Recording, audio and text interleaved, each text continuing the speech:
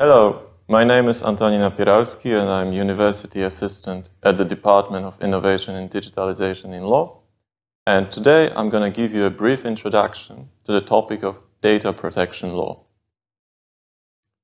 To begin with, it is important to remember that there is no one single piece of legislation regulating data protection in the EU.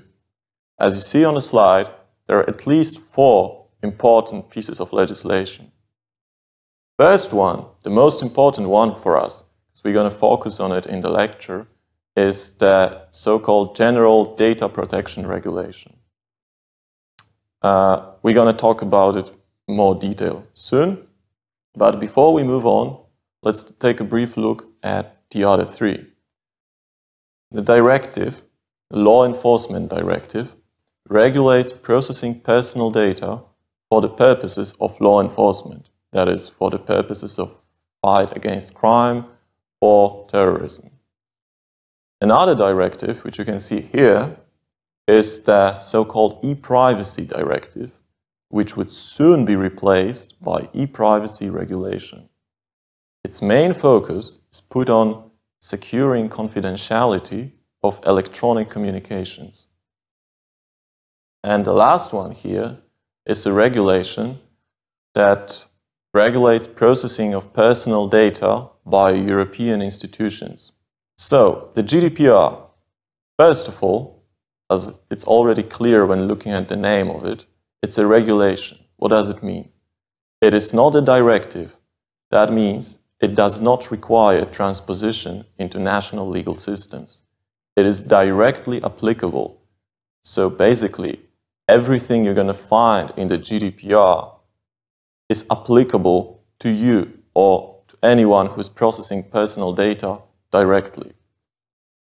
Regarding the scope of the GDPR, that's something new that was not present in the old Data Protection Directive. It is also applicable to entities which process personal data, even though if they do not have their seat on the territory of the EU. Every time they're offering goods or services to people living in the EU or are monitoring behavior of the people living in the EU, even if they're seated somewhere on the other side of the world, GDPR still applies. Another thing are the opening clauses. What is it? Well, normally, as it's clear from principles of EU law, regulation applies directly. But there are some exceptions to it. And we can find them in the GDPR. Sometimes the European legislator left some very specific, narrow issues to be regulated by the member states. The standard phrasing of an opening clause would be something, something, something, comma, unless it's differently regulated by the member states. So every time you're going to find a clause like that, it means that you then have to look into national legislation how this specific issue would be regulated. The basic principle that governs the GDPR is very simple. Processing of personal data is prohibited unless it's permitted. So you cannot just start processing personal data if you want to. You have to find some gr legal grounds in the GDPR that would allow you to do that. What else can we find in the GDPR? For example, the data processing principles. These are general abstract rules that set out a framework on how personal data should be processed. Also, the GDPR grants a number of rights to the data subjects. We're going to talk about them in the next video. It also regulates responsibilities, liabilities of people or entities that process personal data and in case they would not observe the GDPR, also penalties that can be given to them. Here is a visualization of roles that we can find in the GDPR. There are three groups of subject that we can find there. controller, data subject, and processor. Here we have some definitions from the GDPR. So as you can see, controller is a person or an entity that determines the purposes and means of processing of personal data.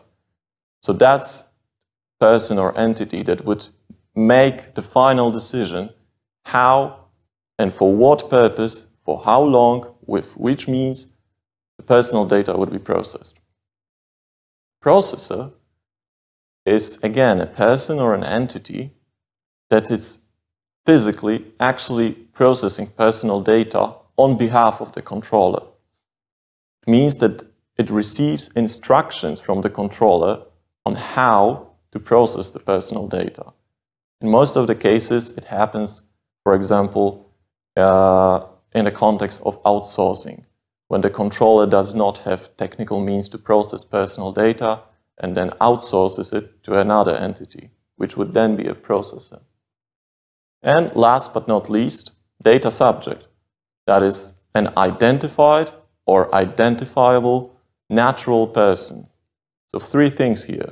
It's a natural person. It's not a legal entity. It's not a company. It's not a public office. It's always just a natural person. Identified or identifiable.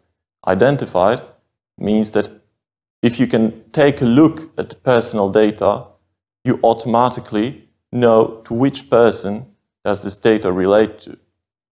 If it's identifiable, it means that at the very moment you cannot relate this data to a person, but it would be possible, for example, in a different context.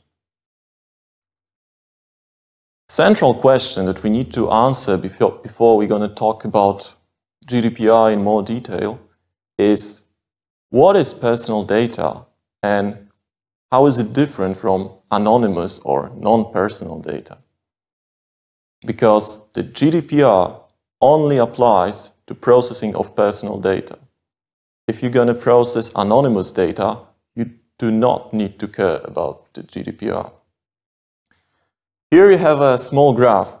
As you can see, we have two major sets of data, personal and anonymous. In other words, non-personal. And somewhere in the middle of all of that, we have a set that is called machine-generated data. That is everything that's generated by machines, clearly. For example, industrial sensors or smartphones or anything that does not require an action of a human. As you can see, machine-generated data covers both personal and anonymous. So please keep that in mind. The definition of personal data can be also found in GDPR, although it's a very peculiar definition. It's a flexible definition. Why? As you can see, the GDPR defines personal data as any information relating to an identified or identifiable natural person. So there is no exhaustive list in the GDPR on what personal data is or is not. If you look here, you'll find the phrase in particular. Every time you find a phrase in particular in any legal act, it means that everything that follows is a non-exhaustive list. These are only examples. But using this part of the definition that is before the phrase in particular, you can find another examples of personal data, right? So here is an, an, a list of some examples introduced by the GDPR, but it's not all of that. Here, for example, we can see what personal data could be. It can be a name or a surname, date of birth, home address, record of DNA, but it can be much, much more. If you look at this slide, you'll see that there are basically two groups of personal data here. One group are the so-called identifiers. That is data that just at a first glance, it's clear to you to which person it relates, like name, surname, date of birth, home address. But there are also different data. data that can reveal habits of a natural person. Take, for example, an airline that collects data about their passengers, about how often do they travel, where do they travel, what do they eat on the plane, what do they buy in the duty-free zone before they board the plane. So if the airline possesses all of these data or has access to all of these data, they can reconstruct habits of natural persons, shopping habits, traveling habits, dietary habits.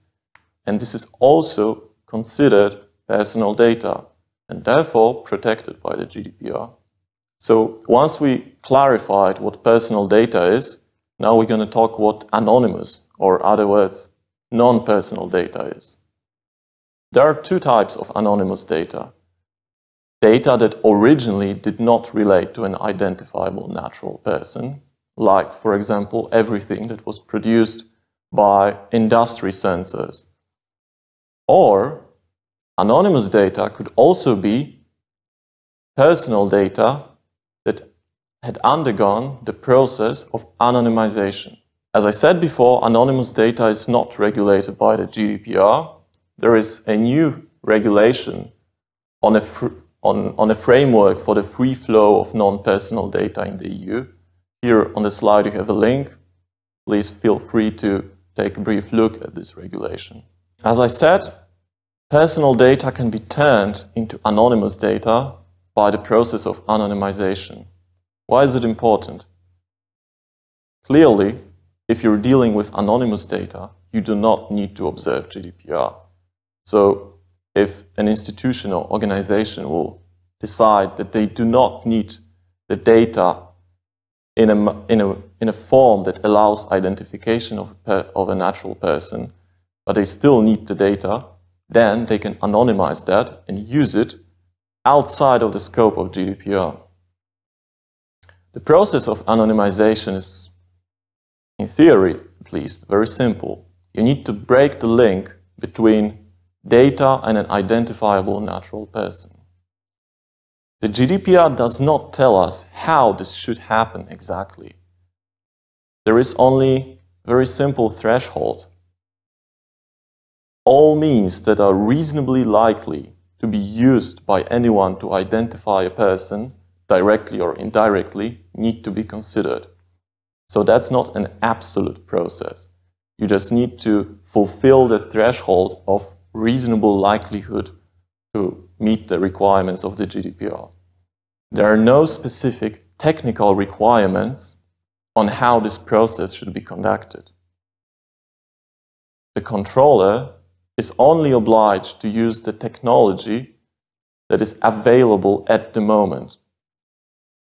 For example, for now, it would be deleting identifiers that is, for example, deleting names and surnames that relate to personal data you're storing, or aggregation or randomization. And that would be all. Thank you for your attention.